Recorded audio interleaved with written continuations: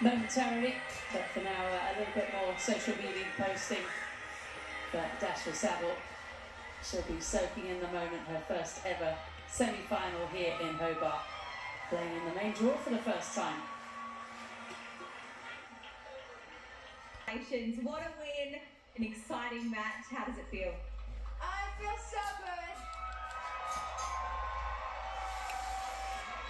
Thank you so much. It means the world,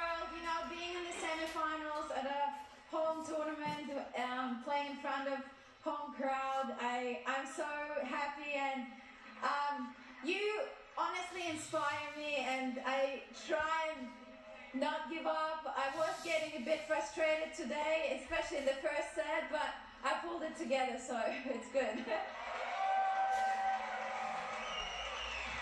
Playing on home soil, how good does it feel to have such a supportive crowd cheering you on? Um, I think I'm like super repetitive thanking you guys. I should thank my team as well. Um, they put in a lot of work, but um, yeah, I'm excited for more and hopefully um, everyone's going to come out tomorrow as well. So you've made it into the semi-finals. You'll be taking on Elise Mertens, who has not dropped a step throughout the tournament. How are you going to approach that match?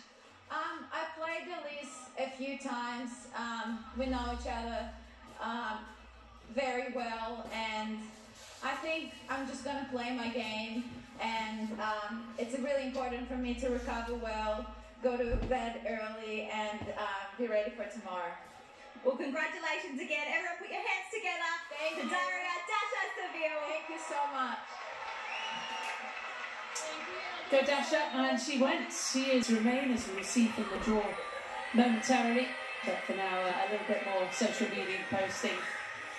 But Dasha Saville, she'll be soaking in the moment, her first.